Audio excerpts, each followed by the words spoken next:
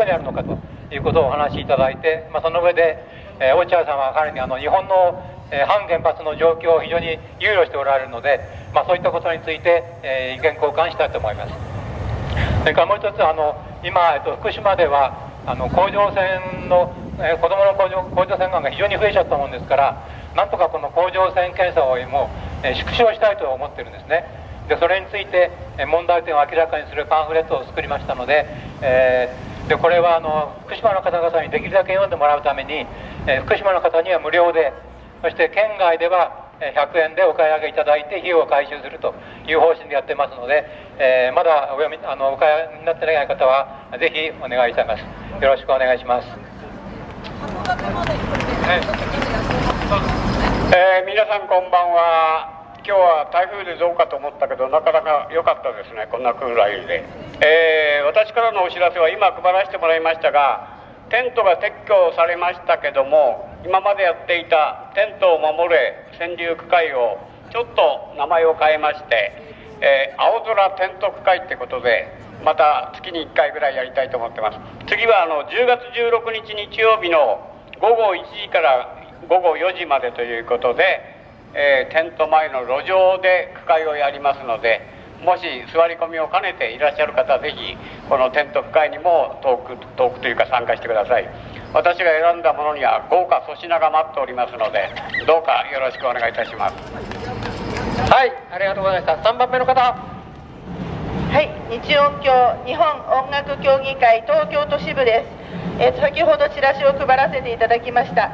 11月6日日曜日に「届けたい私の歌」日本音楽協議会東京都支部コンサートを行います「さようなら戦争さようなら原発」と銘打ちまして午後1時半から、えー、4時ぐらいまでを目安に北区の滝野川会館の小ホールで行います、えー、会場費は1000円お願いいたします、えー、皆さんお忙しいと思いますけれども、え平和の歌労働の歌生活の歌私たちが日頃感じていることそれを音楽にして訴えていきたい。その集大成でございますのでぜひともお運びいただけるとありがたいです。よろしくお願いいたします、はい、4番目の方、はい、脱被爆実現ネットです、えー、よろしくお願いいたします。10月12日に、えー、子ども子ども脱被爆裁判第7回口頭弁論が福島地裁で、えー、14時30分から行われます、えー、実質審議に入る可能性が大ですので、えー、ぜひあの福島地裁に、えおいでくださいませ。そして、え10月22日には、え第7回新宿デモが、え新宿アルタマン広場から13時より行われます。先ほど、え避難生活を守る会の鴨下さんもおっしゃっていただきましたけれども、え今回のデモのテーマは被爆は嫌よ。住宅支援打ち切りやめてということで行います、えー、国と東電は機民政策をやめろ。人間を守れ。ということで、えー、デモを行いますのでぜひおいでくださいませ、えー、そしてですね10月の25日には、えー、川根真也氏の講演会が上智大学で、えー、19時から行われます、えー、長いんですけれども10月30日には落合栄一郎氏がえスペースタンポポで、え14時から講演会を行います。こちらはあのこちらを主催してくださっている、えタンポポ社の皆さんと、え共催になりますので、えこちらの方にもぜひおいでくださいませ。よろしくお願いいたします。失礼いたします。はい。じゃあ最後の方かな。はい、えーと、簡単なところでとかあの再稼働反対のハガキ特に東電のハガキとか柏崎刈場はあの泉田さん応援はがきとかを扱っているタンポポのはがきグループの内読みです。実は先ほど米山さんがお話ししたようにあの泉田さんの応援を長いことはがきでやってきました。そして米山隆一さんが引き継ぐっていうさらに発展させて再稼働をやめさせたいと。私たち応援したいと思ってさらにそういうはがきもこれから今後取り組むつもりでいます。そして今回はあの選挙最中に皆さんの応援の気持ち名前を書いたあカンパは本当にわずかでも何でもいいんです。でもあの米山さんが書かれた文章とここに寒波の名前入りで応援してくださいっていう書書類を作ってまいりました。どうぞ関心を持って柏崎刈場をぜひぜひこのまま続け再稼働させないっていう思いであの取り組んでいますのでご協力ください。今後ともよろしくお願いします。ありがとうございます。10枚ぐらい用意しています。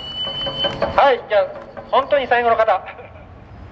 えー、皆さんお疲れ様です、えー、呼びかけの、えー、団体の一つ経済障害テント広場ですえーとまあ、皆さんの、えー、本当に多くのですね反対の、えー、ご努力もあって、えー、今年は、え2期でした、え2期でそして1期動きましたけども明日1期止まります、えそして、えその後、まあ12月もう一度、え動くかどうか、え1期が仙台の2号機が12月に止まりますけどもその時に1号機がもう1回動くかどうか、えという形になります。まあえー、少なくとも、えー、一進一退という形でもしかしたら、えー、1号機もあの無理やり動かされてしまうかもしれないですけども、えそれでも2期で今年は終わる形になります。ただしですね明日あの来年、えやっぱりすごく重要な年になると思います。そして、えそれと同時にですね今年の年末にかけて、え先ほど山崎さんからお話ありましたけれども、え今、え政府の方でまあ、あの原発が安全だということはもう言えない。そして必要でないということももう分かってる。だけれども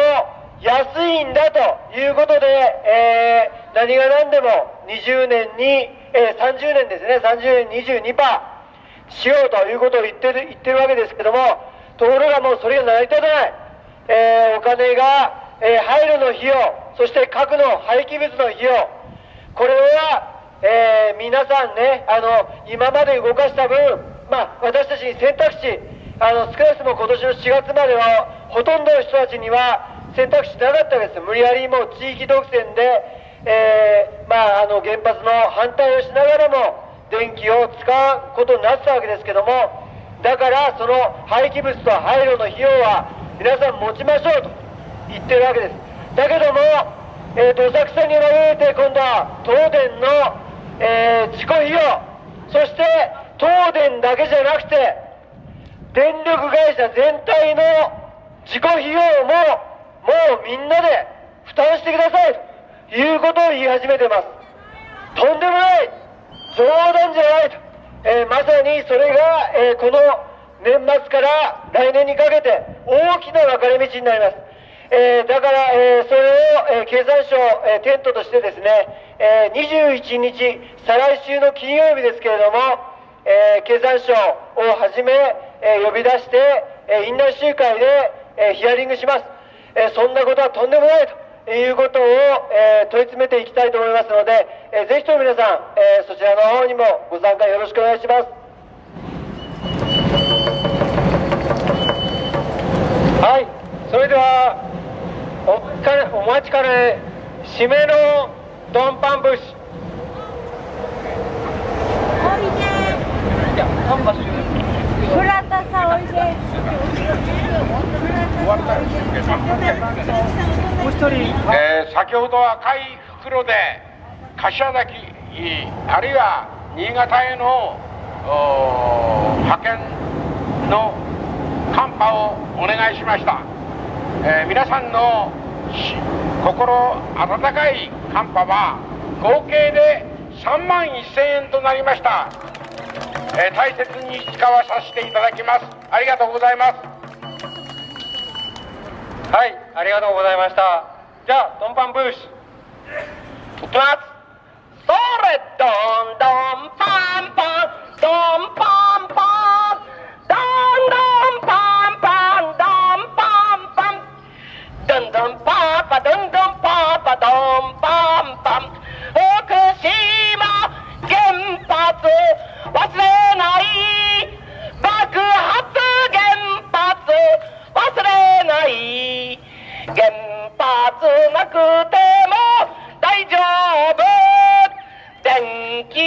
足りてる。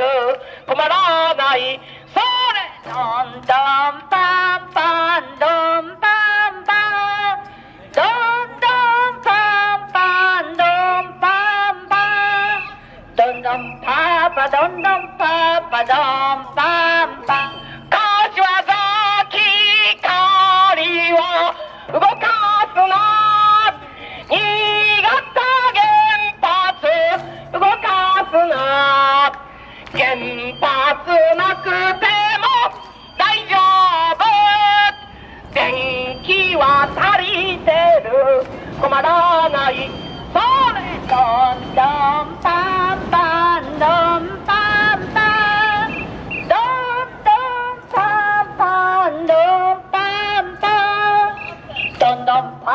パ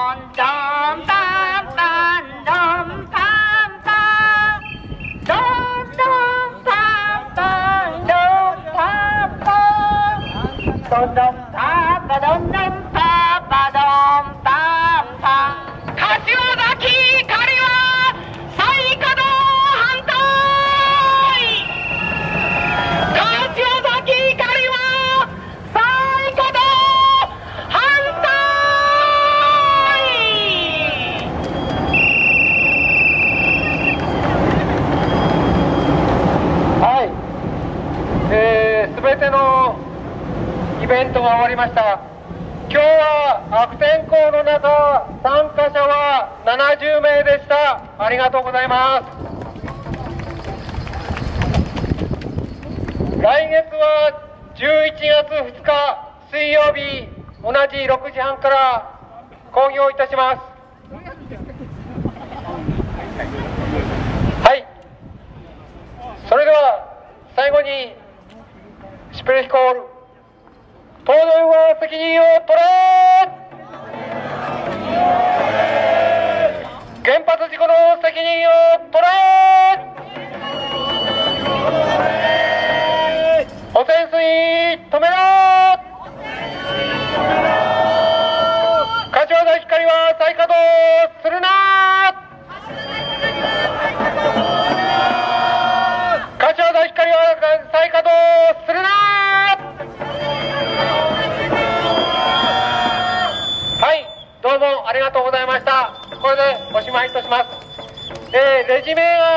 手元にない方まだありますのでぜひ来てください。あとですね交流会を今月はやる月になっております。いつもの場所ですけども2000円ぐらいの会費でやりたいと思いますので参加希望の方はぜひここに残ってください。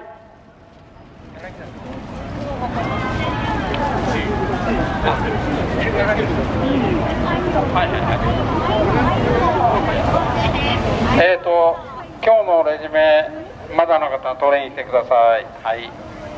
それからはがきありですね。当然のはがきある。当然行動のはがきもあります。東京電力へはがきを出そう。3枚1組200円です。もしお出しの方はぜひ来てください。東京電力へはがきを出そうです。なお鹿児島の九州電力の目立の記事激励のハガキもあります。